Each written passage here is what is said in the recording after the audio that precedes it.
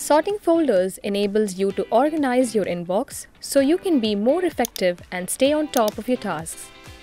Folders can be sorted alphabetically or reordered in any way you like. Let's walk through the steps involved in sorting folders. To choose your order of preference, to sort folders, go to Settings, select Mail View options. Under Sort folder, choose your preference. By default, the order of preference alphabetically will be enabled.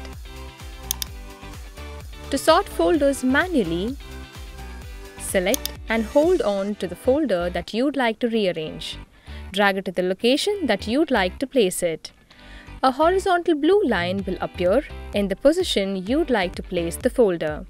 Drop the folder on the line the folder is now moved to your desired position. If you've chosen alphabetically as your order of preference in settings, the folders will be sorted automatically in alphabetical order.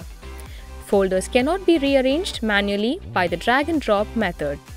Once the folders are sorted, you'll now be able to focus on one thing at a time. For more details, check out our help pages and we'll see you in the next video.